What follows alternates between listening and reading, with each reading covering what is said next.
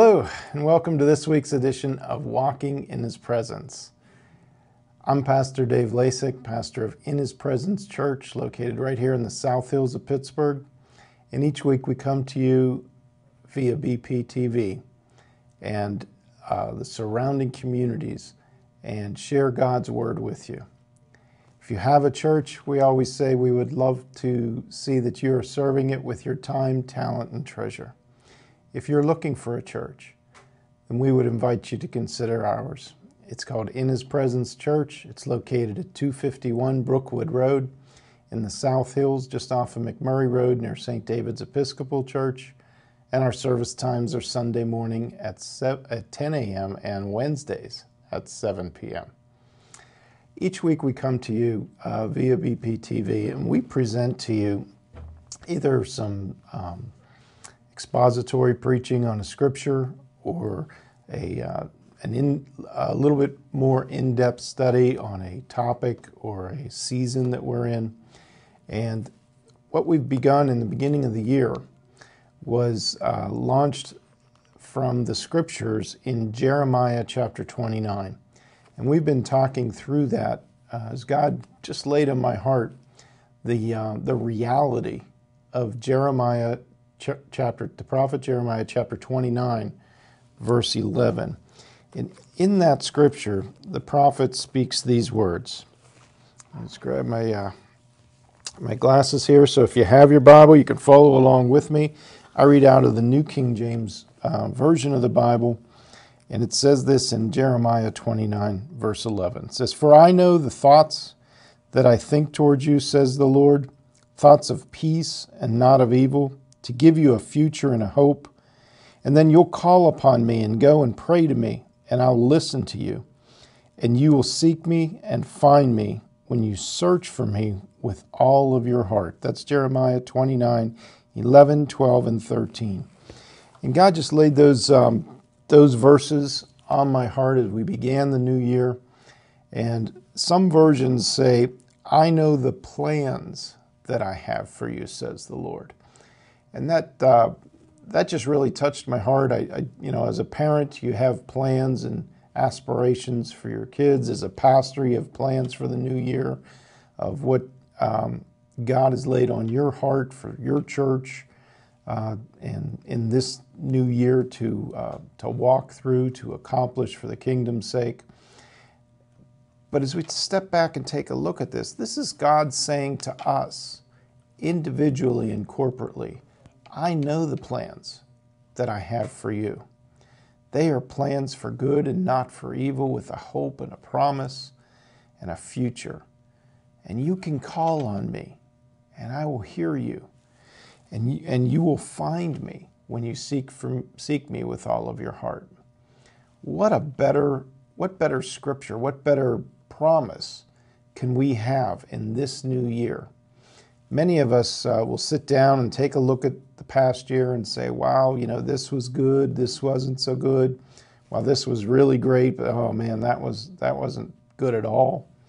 And uh, most of us come to a place where we're ready to make a resolution within ourselves to make this year better than last. And we want our kids to press on and to look for those things that'll move them ahead in their lives and in their walks. Well, God has plans for us as well. And when I thought about that, I thought, man, God has a plan for me in 2017. And you know, that's that's an amazing thing to really consider. That the God of all the universe, nothing has been created without him.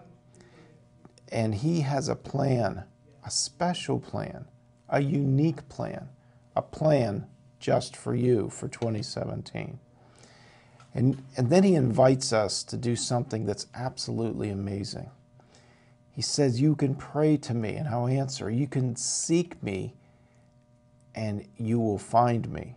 And don't you know that uh, the God of all the universe can, can enable himself not to be found?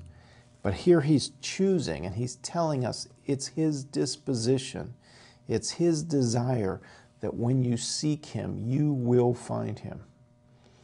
And I feel like I'm speaking to somebody today already that 2016 has really been a rough, rough year for you. And you're looking to, uh, to step ahead in 2017. You're looking to make some changes. And so you're seeking God and you're saying, God, what, what can changes can I make? Where do I go with all of this? What can I do? And let me tell you that that's the best first step that you can take for a new year for any of us is to go before God. Thank Him for the things of the past. Thank Him for His mercy and His grace that you get to see 2017. And then ask Him, Lord, what are your plans for me in 2017? Because as you uh, as you as you know and understand God, you begin to realize that He is just a loving Father. He is the God of the universe. He's God Almighty, but He loves you unconditionally. And regardless what your 2016 looks like, even if you messed up as bad as, as you can imagine, God our Father is here for you in 2017 to say, because of the blood of my Son Jesus, 2017 is already waiting for you to walk into fresh and new. Someone I'm speaking to. Maybe you were just flipping channels. Maybe you were, uh, maybe you tune into this every week. I don't know. But if you were just flipping channels in particular, you're not here by accident. You're not looking and listening to these words by mistake. I believe in divine connection, and we're having, you and I, right now, regardless when this time is that you're actually seeing it, we're having a divine connection. And God has a message for you. God has a word for you. And that is that He has plans for you in 2017. And you will find those plans. He will make Himself found and known to you in 2017 when you pray to Him, because He'll answer. And you'll see His answer you will feel his response. And most importantly, he is um, vowing, if you will, the words of God. He is vowing to, um, to make himself be found by you. And so this is a new year. This is a new time and a new slate. And yeah, there may have been challenges in the past. There may have been disasters in the past, even. But God is saying, it's time to do a new thing. I have plans for you in 2017. The interesting thing to me is always um, this next scripture that we're about to take a look at and the dual meaning that it can have, but yet just as impactful as Jeremiah 29 is this next scripture I'm going to ask you to turn to. And you need to understand some things out of that scripture. We, we need to grasp the very words of God here. This next scripture comes out of the book of the prophet Isaiah. I'm going to ask you to flip over, if you're looking at your Bible, Isaiah's uh, a little bit earlier in the Old Testament. So make a left and go back a few, uh, a few pages. And I want you to turn to the book of the prophet Isaiah. I want you to open up to chapter 43. And in that chapter, I'm going to begin to read at verse 18 of chapter 43. And I want you to, to listen to these words, read through them with me, but consider these words because God is speaking today, and you're not here by accident. In chapter 43, beginning in verse 18, it says this Do not remember the former things, or consider the things of old. Verse 19 Behold, I will do a new thing. Now it's going to spring forth. Shall you not know it? I'll even make a road in the wilderness and rivers in the desert. Wow. Don't consider the former things. Don't consider the things of old. You know, when we when we hear those words and we um, we take a look at what's written there, immediately I don't know about you, but for me, I say, whew, I don't have to worry about the traumas of 2016. God's saying, don't consider those things because He wants to do something new. I don't have to worry about the challenges and the, and the obstacles of 2016. God wants to do a new thing. But you know, it's interesting. Um, we, when we say those words, we think about the negative things and how those things, and looking backwards and considering challenges that we've had in the past, can hold us back.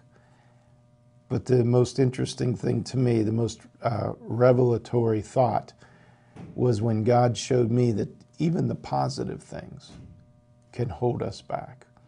Even the glory days of the last year, our high points, our mountaintops, if we consider them in the wrong light or we consider them in the wrong way, those can be as much as a mountain and, uh, and an obstacle to us as the negative things can be. Notice it doesn't say don't consider the negative things. Don't consider the bad things or remember those things. It says do not remember the former things. Well, that leaves the door wide open. It leaves the door wide open for all things.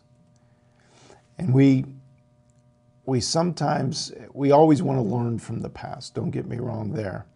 We always want that experience that we've been through to be something that helps move us ahead, challenges us, uplifts us, teaches us. And we never want to totally ignore those things.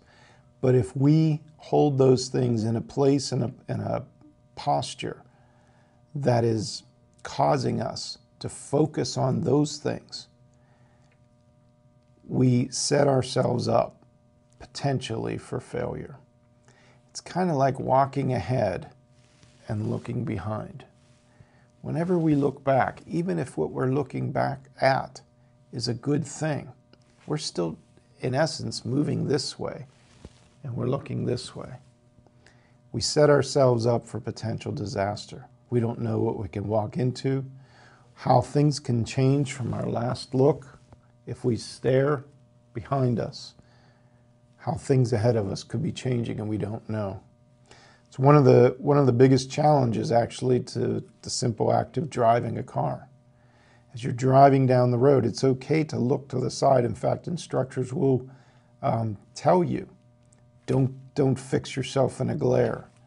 Look to the sides, break break contact and come back.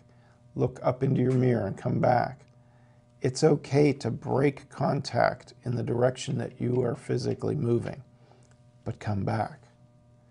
Don't look at the former things or consider the things of old. God is telling us right there He wants to do a new thing. He wants 2017 to be a new thing for you. And, and the, one of the, the best ways to keep any relationship, whether it's husband and wife, parents to children, spouse, uh, um, employer to employee, in all aspects of a relationship. It's important for us to keep things moving ahead, fresh and new. And God is saying, Behold, I want to do a new thing. Now it shall spring forth. Shall you not know it? I'll even make a road in the wilderness and rivers in the desert. Interesting concept here he picks the most obvious in the terminology, time setting, and, and uh, language of the day.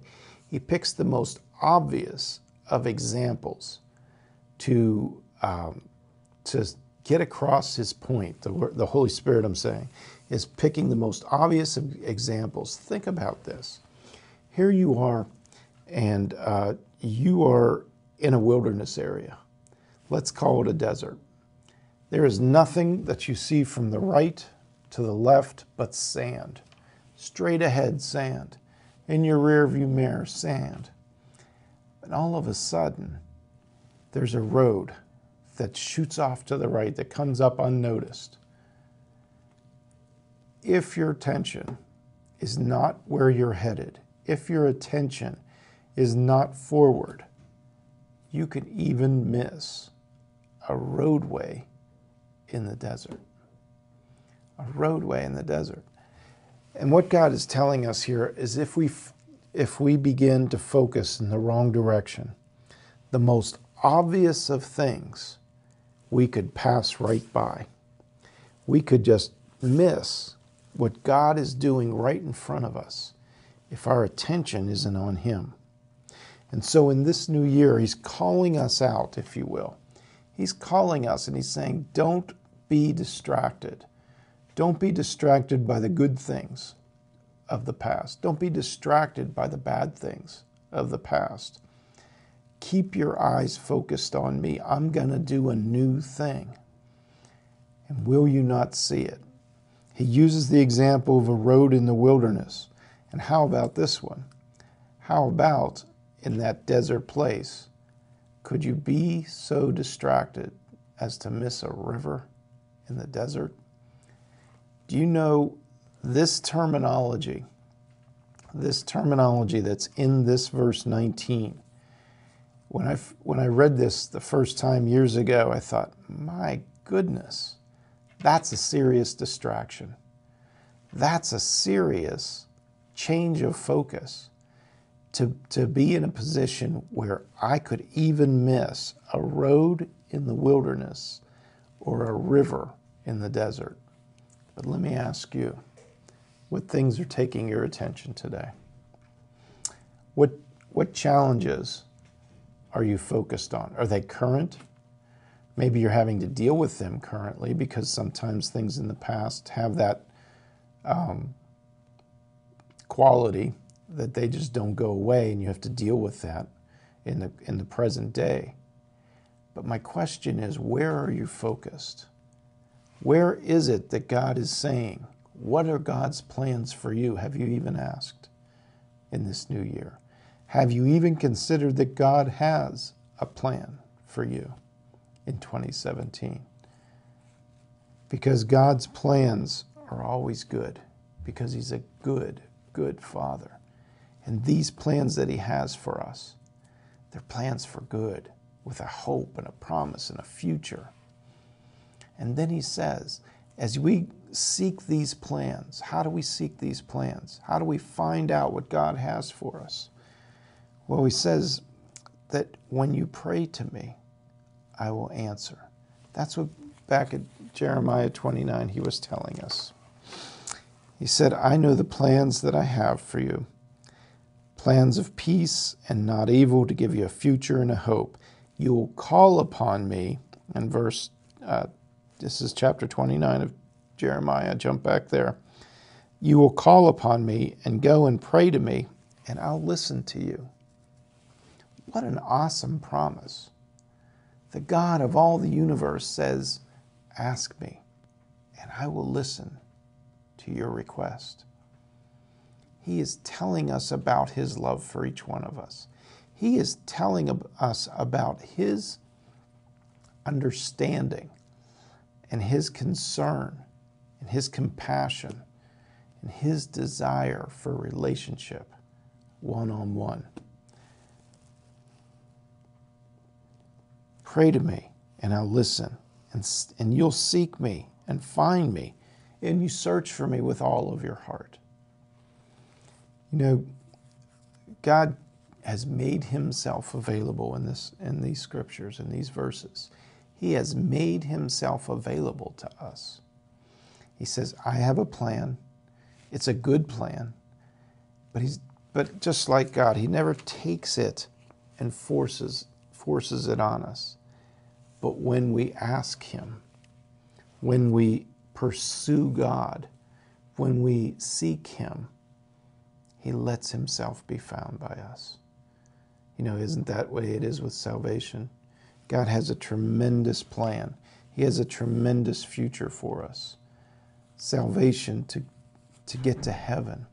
God has a plan and a purpose, and He's constantly seeking each one of us to turn to Him and to focus our heart and our desire on Him. And he says, I know these plans. I know what I have for you plans for good and not for evil. But these plans folks, require us to press into Him. They require us to focus on Him. The danger is that if we lack the focus, if we don't focus on God, we could be so distracted. And that distraction could be equal to us missing a road in the wilderness, a river in the desert. Those distractions pull us so far out of the plan of God. And God is, God is, uh, He's pursuing us. He's pursuing you, and He pursues all of us on a regular basis. He makes Himself available to us. Pretty amazing thing when you think about it that the God of the universe pursues you, loves you, has a plan that's perfect for you, and He has a plan that's perfect for me, the God of all the universe. And all He says is, Ask me, seek me. I'll tell you. I'll, be, I'll make myself found by you. What an amazing, loving Father. Whatever your understanding of God is, I am hoping that in as we study His words, you know, people can all the time in every different arena, whether it's politics or what have you, people try to um, proclaim something in the name of somebody else, and it's not always what that person they're attempting to represent feels or says. And we have to be careful with that. We have to understand the heart of the person that they're trying to portray or trying to, uh, um, I don't know, speak for, for, other, for lack of a better way. How much more important is that when we're considering God? What does God's heart really mean? Or what does God's heart have for us? Well, we go to his own words. Why? Because from the abundance of a heart, the mouth speaks. So, from the abundance of God's heart, the Word of God speaks to us. And we can, we can take a look at God's Word and say, wow, look at the heart of God. Look at the heart of the Father. He loves me so much. He has a plan for me. It's a good plan. And then He makes Himself available to me that if I get off track or I don't understand one of these steps, no problem. He says, Call me, ask me, pray to me, and I'll answer you. Seek me when you're not sure where you're going, where you're not sure what the next step is, and I will make myself found. When we learn how to, to communicate and pursue God, who loves us so much, we begin to tap into His love for us. And we fill ourselves up to overflowing. And all of a sudden, we become vessels of that love that we can pour out onto somebody else. And we can introduce them to that loving God who has a plan for them too, who has a purpose. And they will not miss the plan of God because their focus is off. But how about you? This is the year to get the focus right for every one of us. This is the year to press into God, to pray and to ask Him so that we hear His voice, see His direction, get his plan for us. And as we walk down, walk out that plan, He is telling us that He'll be with us every step of the way. Well, that's about all the time we have today. We've covered two of the three scriptures that I wanted to cover here in the beginning of the year. We'll cover the next one. We'll step into the next one next week. Those two scriptures, once mm-hmm. again, were the prophet Jeremiah, chapter 29 verses 11, 12, and 13, and the prophet Isaiah, chapter 43, verses 18 and 19. Read those again. Study them, ponder them. God is speaking. God bless you. Have a great day. We'll see you next time.